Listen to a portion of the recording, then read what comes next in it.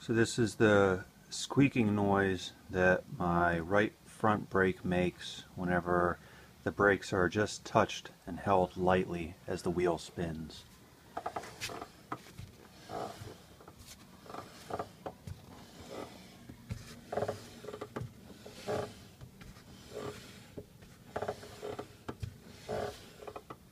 This is just to show you how much the wheel is spinning whenever I